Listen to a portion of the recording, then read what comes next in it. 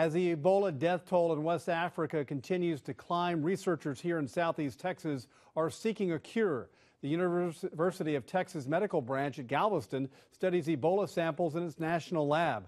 Fox 4's Lauren Hewitt reports virologists are closer to a vaccine for humans than ever before.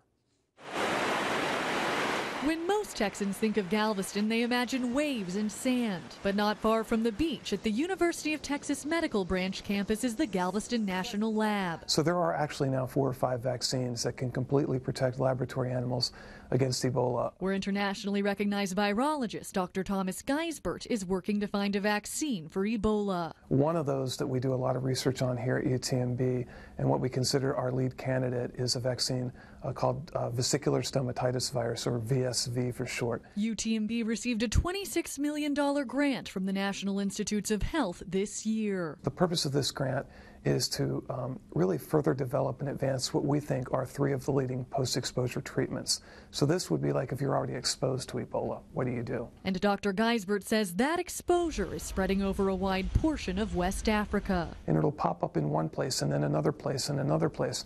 And the problem is that the, the skilled staff, the people uh, who normally respond to these outbreaks, who are responsible for containing them, the resources are spread thin, they're spread thin, and I think that makes it more difficult to combat. But he says the chances of the epidemic spreading out of Africa are highly unlikely. This is actually as close to UTMB's Galveston National Lab as we can get with a camera for security reasons. Dr. Geisbert says security inside the lab is state of the art, and the lab where he studies Ebola is like a box within a box within a box. After I go through multiple layers of security, I will go into a change room, you know, strip down to your birthday suit, put on scrubs, um, walk in through a personal shower, like just you know a regular shower.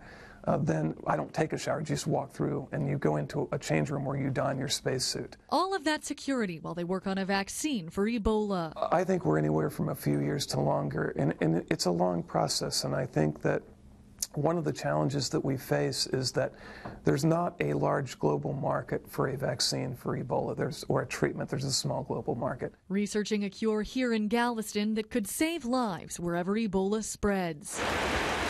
In Galveston, Lauren Hewitt, Fox 4 News. The Ebola virus isn't transmitted through the air, but by contact with an infected person or their bodily fluids.